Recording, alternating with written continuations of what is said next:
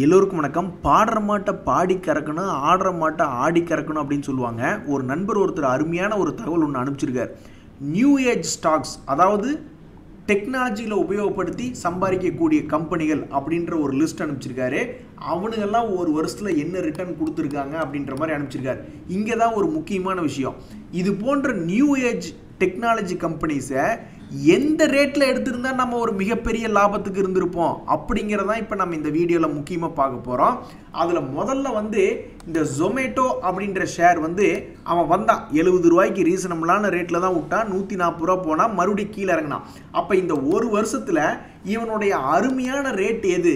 இந்த மாட்டை பல்ல பிடிச்சி பார்த்து என்ன ரேட்டுக்கு வாங்கியிருக்கணும் அப்படின்னு பார்த்தோம்னா ஐம்பது ரூபா இவனுடைய தகுதியான ரேட் ஐம்பது ரூபாய்க்கு வாங்கியிருந்தோம்னாக்கா இவன் நம்மளை டபுள் பண்ணி விட்டுருப்பான். அதே சமயத்தில் இன்னொரு ஷேர் பிபி ஃபின்டெக் இந்த பாலிசி பஜார் அப்படின்ற கம்பெனி இந்த ஒரு வருஷத்தில் வருஷ ஸ்டார்டிங்லேருந்து என்ன பண்ணியிருக்கான்னு பார்த்தோம்னாக்கா அறுபத்தி நாலு பர்சன்டேஜ் ஏறியிருக்கான். அப்போ இவனையும் எந்த ரேட்டில் பிடிச்சி பார்த்துருக்கணும்? நானூறுரூவா ரேஞ்சில் பிடிச்சி பார்த்துருந்தா இவனும் ஒரு ப்ராஃபிட் தான். இதே நீங்கள் வந்து இருக்கிறதுலே லாங் டேர்மில் பார்த்தீங்கன்னா ஆயிரத்தி முந்நூற்றி முப்பத்தி ரெண்டு ரூபாயிலிருந்து எவ்வளோ தூரம் அவனை இறங்க விடணும் எழுபது பர்சன்டேஜுக்கு மேலே இறங்க விடணும் அதே மாதிரி தான் இந்த ஜொமேட்டோவும் அவனையும் நீங்கள் வந்து ஃபைவ் இயர் ஏங்கிளில் பார்த்தீங்கன்னா எவ்வளோ தூரம் கீழே இறங்க விடணும் நூற்றி ஐம்பத்தி நாலு. எங்கே? கீழே வந்து ஐம்பது ரூபா எங்கே? அவனையும் ஆல்மோஸ்ட் எழுபது பர்சன்டேஜுக்கு மேலே இறங்க விட்டு எடுத்திருந்தா இவனும் சூப்பரான ஒரு ரேட் அப்போ மேப் மை இண்டியான்னு ஒரு மாடு இருக்குது அந்த மாட்டை வந்து பாடி கிறக்கணுமா ஆடி கிறக்கணுமான்னு பார்த்தோம்னாக்கா அவனையும் வந்து லாங் டேர்ம் ஆங்கிளில் பார்த்துருந்தோம்னா கீழே வெறும் ஆயிரம் ரூபாய்க்கு கிடைச்சிருக்கான். ஆயிரம் ரூபாய்க்கு கிடைக்கும் போது இவனை தூக்கியிருந்தா இதுலேயும் அறுபது பர்சன்டேஜ் பாருங்க அப்போ நியூ ஏஜ் கம்பெனிஸ்னு எவனாவது வந்தானுங்கன்னா அவனுக்கு அறுபது பர்சன்டேஜ் எழுபது பர்சன்டேஜ் சீப்பாக கிடைக்கும் பொழுது தாராளமாக வாங்கக்கூடிய இடமா இருக்குது இப்பெல்லாம் ஏலக்காயை தட்டி போட்ட பிரெட் ஆம்லெட்லாம் க புதுசு புதுசாக கண்டுபிடிச்சிட்டு இருக்காங்க. அதே மாதிரி நம்மளும் என்ன கண்டுபிடிக்கிறோம்னா இந்த பேடிஎம் அப்படின்ற ஷேரை வந்து கீழே என்ன ரேட்டுக்கு வாங்கியிருந்தா அருமையான லாபமாக இருக்கும் அப்படின்ற மாதிரி போய் பார்த்தோம்னா அவனும் அதே மாதிரி தான் ஐநூற்றி முப்பத்தாறு ரூபாய்க்கெலாம் போயிருக்கானுங்க. ஆயிரத்தி எட்நூறுரூவா இருந்த ஷேருங்க ஆயிரத்தி எட்நூறுரூவா இருந்த ஷேர் ஐநூறுரூவா ரேஞ்சுக்கு போனவன் இந்த வருஷத்தில் மட்டும் என்ன பண்ணியிருக்கான்னா ஐம்பத்தேழு மடங்கு ஏறி இருக்கான் ஐம்பத்தேழு பர்சன்டேஜ் ஏறி இருக்கான் பல வருஷமாக நானும் போராடிட்டு இருக்கேன். ஐம்பத்தேழு இந்த ரெண்டுக்கு இடையில் நான் மாட்டிட்டு தவிக்கிறேன் பாருங்கள் பர்சன்டேஜுக்கு மடங்குக்கும். இப்போ கரெக்ட் பண்ணிட்டேன் அதே மாதிரி தான் இந்த கார் ட்ரேட் அப்படின்ற கம்பெனி இவன் வந்து இந்த வருஷம் ஸ்டார்டிங்லேருந்து என்ன பண்ணியிருக்கான்னா பதினோரு பர்சன்டேஜ் உங்களுக்கு ஏறின மாதிரி தெரியும். ஆனால் அவன் எங்கிருந்து ஏறி இருக்கான் முந்நூற்றம்பது ரூபாயிலிருந்து ஏறி இருக்கான் அவனும் ஆல்மோஸ்ட் கிட்டத்தட்ட டபுள் ஆண்ட ஆயிட்ட மாதிரி இருக்கான். நைக்கா அவன் மட்டும் என்ன சாதாரணமாக அவன் கீழே எவ்வளோ தூரம் இறங்கியிருக்கான்? நூற்றி பதினாறு ரூபாயிலிருந்து அவனும் நூற்றி நாற்பத்தேழு ரூபா வந்துட்டான். அப்போ நாம் கொக்கு மாதிரி காத்திருக்கணும். நீ நியூ ஏஜ் ஓ இல்லை ஓல்டு ஏஜ் ஸ்டாக்ஸ் ஆறு எவனா வேணா இரு. ஆனால் ஒரு எழுபது பர்சன்டேஜ் அறுபது பர்சன்டேஜ் அப்படின்னு ஒரு சீப்பான ரேட்டில் கிடைக்கும்போது கண்டிப்பாக அவன் திரும்பி மேல் நோக்கி ஏறக்கூடிய வாய்ப்பு அப்படின்றது ஸ்டாக்குகளில் இருக்குது அப்படின்றத நம்ம நியூ ஏஜ் ஸ்டாக்ஸில் வச்சும் ப்ரூஃப் பண்ணுறோம் அதே மாதிரி ஓல்டு ஏஜ் ஸ்டாக்ஸில் வச்சும் நம்ம ப்ரூஃப் பண்ணுறோம் ஓல்டு ஏஜ் ஸ்டாக்ஸ்னால் நீங்கள் என்ன வேணாலும் எடுத்து பாருங்கள் ரிலையன்ஸு ஹெச்டிஎஃப்சி பேங்க்குன்னு ஓல்டு ஏஜ்னா அதுக்குன்னு நான் எதுக்காக சொல்ல வரேன்னா ஒரு சில இடைக்காக சொல்ல வரேன். ஸோ நியூ ஏஜ் ஸ்டாக்ஸ் எடுத்து பார்த்தாலும் சரி டைம் அண்ட் டெஸ்டடாக இருக்கக்கூடிய ஓல்டு ஸ்டாக்ஸ் ஆல்ரெடி ஷேர் மார்க்கெட்டுக்குள்ளே வந்த ஸ்டாக்குகளாக இருந்தாலும் சரி எல்லாருமே இறங்கினதுக்கப்புறம் ஏறக்கூடிய வாய்ப்பு இருக்கான் இந்த சமயத்தில் அதே நண்பர் வந்து இன்னொரு நல்ல அருமையான ஒரு தகவல் அப்படின்றது தொடர்ந்து அனுப்பிச்சிட்டே இருந்தார். அவரை மோட்டிவேட் பண்ணும் அப்படிங்கிறக்காக நான் இன்றைக்கி இது எடுத்து வச்சுக்கு வந்திருக்கேன். நாளைக்கு மார்க்கெட்டுக்கு ப்ரிப்பேர் பண்ணுன்னா நாம் இன்றைக்கே சில ஸ்டாக்குகளை ஷார்ட் லிஸ்ட் பண்ணி வச்சோம்னா தான் ஜெயிக்க முடியும். பாரத் ஃபோர்ஜ் அப்படின்ற ஷேர் உங்களுக்கு ஞாபகம் இருக்கா? நான் இன்னைக்கு காலையில் கூட ஒரு சொல்லியிருந்தேன். பாரத் ஃபோர்ஜில் வந்து ரிசல்ட் இம்பேக்ட் வரப்போகுது அப்படின்ட்டு.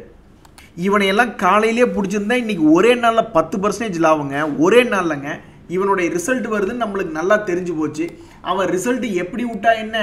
இவன் வந்து ஏற்கனவே டிஃபென்ஸ் சம்திங் டிஃபென்ஸ் ரிலேட்டடான ப்ராடக்ட் செய்கிறதுக்கு லைசன்ஸ் வாங்கிட்டான் அப்படி இப்படின்னு சொல்லிட்டு இவனை ஆல்ரெடி ஏற்றி விட்டுட்டு தான் இருக்காங்க. ஸோ இயர் ஹையில் இயரில் ஒரு ஒரு இயர் ஆங்கிளில் பார்த்தீங்கன்னா ஏழ்நூற்றம்பது ரூபாயிலிருந்து ஆல்ரெடி அவன் நைன் ஃபிஃப்டிக்கு மேலே வந்திருக்கான். இவனுக்கு எல்லாம் ஒரே குரூப்பில் ஊர்ன மட்டங்கி தான். இவன் ஆகட்டும் அல்லது ஹெச்ஏஎல் ஆகட்டும் அல்லது மாஸ்டாக் ஆகட்டும் எல்லாம் தொடர்ந்து மேல் நோக்கி ஏறக்கூடிய பங்குகளாக இருக்கான். அப்போ யாராவது இதை கரெக்டாக கணிச்சு இன்றைக்கே வந்தாலும் ஓகே தான் அல்லது ஒரு ஒரு பத்து வருஷம் படுத்து கிடந்தாலும் ஓகே தான் அப்படின்ற ஆங்கிளில் வாங்கியிருந்தாங்கன்னா இன்றைக்கே ஒரே நாளில் ஆல்மோஸ்ட் பத்து பர்சன்டேஜ் லோ ரேட்லேருந்து பாரத் ஃபோர்ஜ் ஸோ அந்த வகையில் நாளைக்கு மார்க்கெட்டுக்கு நம்ம ப்ரிப்பேர் பண்ணுறக்கு இப்படி கப் அண்ட் ஹேண்டில் அப்படின்ற மாதிரியான இருக்கக்கூடிய ஸ்டாக்ஸை சொல்லியிருக்காப்புல. இந்த பேட்டர்னுடைய சக்தி என்ன அப்படின்னம்னா இந்த ட்ரெண்ட் வந்து தொடர்ந்து கண்டினியூ ஆகி மேலே பிச்சுக்கிட்டு போகிறதுக்கு வாய்ப்பு அப்படின்றது இருக்குது வீக்கார்ட்லாம் பார்த்தா ஆல்ரெடி பிச்சிருக்கான். அதுக்கு நம்ம இந்த ஹெச்சிசி போன்ற பங்குகளெல்லாம் நம்ம அடிச்சு விட்றலாம் ஏன்னா அவன்கிட்ட ஃபண்டமெண்டல் அப்படின்றது பெருசாக இருக்கிற மாதிரி தெரியாது. அதனால் இப்போ வி கார்டு அப்படின்றத எடுத்துக்கிறோம்னு வச்சுக்கோங்களேன். ஷேர் மார்க்கெட்டில் விழுந்தேன் வீணாய் போனேன் அப்படின்னு பல ஷேர்கள் இருக்கிற சமயத்தில் இவன் உச்சாணி கும்பில் இருக்கான் வி கார்டு ஸோ இவனுடைய பேட்டர்ன் எப்படி இருக்குன்னு பார்த்தீங்கன்னாக்கா நல்ல அழகிய பிரேக் அவுட் அப்படின்றது செந்தூக்கி பிரேக் அவுட்டாகவும் ஆயிருக்கா. அது மட்டும் இல்லை ஓரளவுக்கு நல்ல அப்படியே கப் அண்ட் ஹேண்டில் அவன் பிரேக் அவுட் ஆயிருக்கான். ஸோ இது அப்படியே கண்டினியூ ஆகும் பொழுது இது எப்போ வரைக்கும் இந்த இரநூத்தி எண்பதுக்கு கீழே வராத வரைக்கும் இந்த ஸ்டாக் என்பது மேல் நோக்கி ஒரு மாதிரி துடிப்பாக அப்படியே துடிப்பாக இருக்கக்கூடிய பங்குகள் தான் இந்த பங்குகள். இந்த டெக்னிக்கலி இவர் எடுத்து வச்சிருக்கிற பங்குகள். ஸோ வீகார்டு அப்படின்றது தற்சமயத்துக்கு துடிப்பாக இருக்குது பட் இருந்தாலும் சே ஏன் ஷேர் மார்க்கெட்டுக்கு வந்த அப்படின்ற மாதிரி ஃபீல் பண்ண ஆரம்பிச்சிருவான். கீழே இறங்குற மாதிரி இருந்தான் இதுதான் இது போன்ற ஷேர்கிட்ட இருக்கக்கூடிய ஒரு கெட்ட விஷயமே. நம்ம வந்து கீழ் நம்மளுடைய ஸ்டைல் வந்து கீழே சப்போர்ட்டில் எடுத்து பத்து வருஷம் படுத்து கிடக்கக்கூடிய ஸ்டைலாக இருந்தால் இந்த மாதிரி பிரேக் அவுட் ஸ்டைல் நம்மளுக்கு ஒத்து வராது. பட் இருந்தாலும் இவன் பிரேக் அவுட் அப்படின்றது ஆயிட்டதுனால இந்த பிரேக் அவுட் அப்படின்றது இப்படி ஆயிட்டதுனால மேபி இந்த இது கீழே போகாத வரைக்கும் துடிப்பாகவே தான் இருப்பான். கொஞ்சம் இறங்குற மாதிரி இருப்பான் ஆனால் மறுபடியும் மேலே ஏறிடுவான். நல்லாவே இறங்குற மாதிரி இருப்பான் ஆனாலும் மறுபடியும் நல்லாவே ஏறிடுவான். இது போன்ற பங்குகளாக இருக்கும். ஸோ இந்த வரிசையில் நாளைக்கு நம்ம வேறு எந்த ஷேரில் தயாராகலாம் அப்படின்ற மாதிரி நம்ம பார்த்தோம்னு வச்சிங்களேன் மற்றது எல்லாத்தையும் விட விகார்டு நம்ம பார்த்துட்டோம். பாரத் ஃபோர்ஜ் அப்படின்றத பார்த்துட்டோம். வேறு எது அப்படி துடிப்பாக இருப்பான் முன்னணி பங்குகள் அப்படின்ற மாதிரி பார்த்தோம்னா இந்த இந்தியா புல்ஸ் ஹவுசிங் ஃபைனான்ஸ் அப்படின்றத அடுத்தது பார்க்கலாம். பையன் வேற சும்மாவே சுற்றிட்டு திரியிறான். அவனுக்கு ஒரு கால் கட்டு போட்டோம்னா அவன் குடும்பம் அவன் வாழ்க்கை அப்படிங்கிறது நல்லாயிரும் அப்படின்ற மாதிரி இத்தனை நாள் அது பாவம் கீழே கிடந்தது. இப்போ தான் அவன் ஓரளவுக்கு உருப்படியாகி பிரேக் அவுட் ஆகி மேலே போகிறக்காக பார்த்துட்ருக்கான் ஸோ கீழேருந்து மேலே போகக்கூடிய பிரேக் அவுட்டும் பண்ணியிருக்கான் செந்தூக்கி பிரேக் அவுட்டும் பண்ணியிருக்கான் அப்படின்னா என்ன அர்த்தம்? இவன் நூற்றி அறுபத்தொம்போது ரூபாயிலிருந்து நூற்றி அறுபது வந்தாலும் சரி நூற்றி நாற்பது வந்தாலும் சரி துடிப்போடவே தான் இருப்பான். கடைசிக்கு நூற்றி முப்பத்தாறு ரூபாய்ன்னு வந்தாலும் சரி அவன் மறுபடியும் திரும்பி மேல் நோக்கி இறக்கே தான் துடிப்பாகவே தான் இருக்கு பார்ப்பான் அந்த வகையில் பார்த்தா என்னை பொறுத்த வரைக்கும் இந்த இந்தியா புல்ஸ் ஹவுசிங் ஃபைனான்ஸ் அப்படின்ற ஷேருமே என்ன ஆயிருக்கு அப்படின்னு பார்த்தோம்னா கொஞ்சம் துடிப்பாக மேல் நோக்கி போகக்கூடிய ஒரு பேட்டர்ன் அப்படின்றதுல வந்து உளுந்திருக்கான் என்னை பொறுத்த வரைக்கும் மற்ற பங்குகள்லாம் கொஞ்சம் அசமஞ்சமாக இருக்கக்கூடிய வாய்ப்பு இருக்குது கேஸ்ட்ரால் இந்தியா ஆகட்டும் பெட்ரோனட் எல்என்ஜி ஆகட்டும் ரிலையன்ஸ் பவர்லாம் நான் பார்க்கவே மாட்டேன்னு வச்சுங்க ஸோ இது போன்ற பங்குகள்லாம் வந்து கொஞ்சம் பிரேக் அவுட் ஆனாலும் கொஞ்சம் அசமஞ்சமாக ஒரு மாதிரி ஸ்லோவாக இருப்பான். ஸோ என்னை பொறுத்த வரைக்கும் நாளைக்கு துடிப்பாக இருக்கக்கூடிய பங்குகள் அப்படின்னு பார்த்தோம்னா V guard Bharat forge Indiabulls housing finance அப்படின்றதான் என் கண்ணுக்கு படுது. ஒரு நண்பர் என்ன கேட்குறாப்புல அது எப்படி சொல்லி வச்சாப்புல? இங்கே பாருங்களேன் ஃபாரினர்ஸ் எவ்வளோ விற்கிறாங்களோ இந்த மாதத்தில் ஆகஸ்ட் மாதத்தில் நாலாயிரத்தி எட்நூறு கோடின்னு விற்றா அது கரெக்டாக நாலாயிரத்தி நூறு கோடி டிஐஸ் அப்படின்றவங்க வாங்குறாங்க. இவங்க விற்க அவங்க வாங்க அவங்க விற்க இவங்க வாங்கன்னு மாற்றி மாற்றி கரெக்டாக ஆல்மோஸ்ட் ஈக்குவலைஸ் பண்ணுற மாதிரி பண்ணுறாங்க இவங்க எவ்வளோ தூரம் விற்கிறாங்களோ அதே அளவு இவங்க வாங்குறதுக்காக முயற்சி பண்ணுறாங்க அதே மாதிரி இவங்க எவ்வளோ வாங்குறாங்களோ அதே அளவு அவங்க முயற்சி பண்ணுறாங்க ஸோ ஏதோ ஒரு ட்ரிகர் பாயிண்டில் எப்படி அவங்களுக்கு மட்டும் தெரியுது? நம்ம சரக்கு போட்டு வந்தோமா இல்லையான்னு கண் பார்வையில் பார்த்து கையில் கிடைக்கிறத எடுத்து நம்ம தூ மேலே தூக்கி வீசுகிறாங்க வீட்டம்மா. அது மாதிரி எப்படி இவனுக்கு கண் பார்வையில் ஃபாரினர்ஸ் இன்னைக்கு இவ்வளோ வாங்கியிருக்கானுங்க அப்போ நம்ம இவ்வளோ விற்கணும் அல்லது ஃபாரினர்ஸ் இவ்வளோ விற்றுருக்காங்க அப்போ நம்ம இவ்வளோ தூரம் வாங்கணும். அப்படின்னு எப்படி அதை அந்த கேட்ச் பண்ணுறாங்க அப்படின்ற மாதிரி ஒரு நண்பர் கேட்குறாரு சத்தியமாக இதுக்கு என்ன தொடர்பு? இவர் கேட்டது வேற மாதிரி. இவங்க ரெண்டு பேர்த்துக்கு இடையே உள்ள தொடர்பு என்ன? அந்த தொடர்பு எனக்கு தெரிஞ்சாகணும் அப்படின்ற மாதிரி தெரியும் தெரியலிங்க. அதாவது நான் கென்யாவில் ஒர்க் பண்ணிட்டு இருந்தேன். கென்யாவில் ஒரு சாஃப்ட்வேர் கன்சல்டண்ட்டாக ஒர்க் ஆகி ஒர்க் பண்ணிகிட்டு இருக்கும்போது அப்போ ஒரு ரெக்குவயர்மெண்ட் ஒன்று வந்தது. அது என்ன ரெக்குவயர்மெண்ட்னா ஒரு புரோக்கர் இருக்கார். அந்த புரோக்கர்கிட்ட பல சேனல் இருக்குது அவருடைய ஏஜென்சி இருக்காங்க. அவர்கிட்ட ஒரு மொபைல் பிளாட்ஃபார்ம் இருக்குது அவர்கிட்டயே டெஸ்க்டாப் பிளாட்ஃபார்ம் இருக்குது அவர்கிட்டயே டீலருக்கு இருக்காங்க. அவருக்கு அது போக அவங்க வந்து ஃபாரின்லேருந்து ஆர்டர் வாங்குறது வந்து ப்ளூம்பர்க் டெர்மினல் மூலிமா ஆர்டர் வாங்குறாங்க. அப்போ இத்தனை ஆர்டரை வாங்கி அவங்க வந்து ஆர்டரை வந்து எக்ஸ்சேஞ்சுக்கு சப்மிட் பண்ணும்பொழுது எங்களுக்கு ஒரு ட்ராக்கிங் பர்பஸ்க்காக ஒவ்வொரு ஆர்டருக்கும் உண்டான ஆர்டர் சோர்ஸ் என்ன அப்படின்றத கண்டுபிடிச்சி கொடுக்குற மாதிரி சாஃப்ட்வேர் எனேபிள் பண்ணி கொடுங்க. ஒரு ரெக்குயர்மெண்ட்டை வந்து பண்ணி கொடுங்க அப்படின்ற மாதிரி ஒரு அனலைசிஸ் வந்தது. ஸோ அப்போ வந்து நாங்கள் ஒர்க் பண்ணோம். ஸோ அப்போ ஒரு புரோக்கர் லெவலில் வந்து ஒரு சிஸ்டமில் நம்மளால் ஆர்டர் சோர்ஸ் வந்து ஐடென்டிஃபை பண்ணிக்க முடியும்.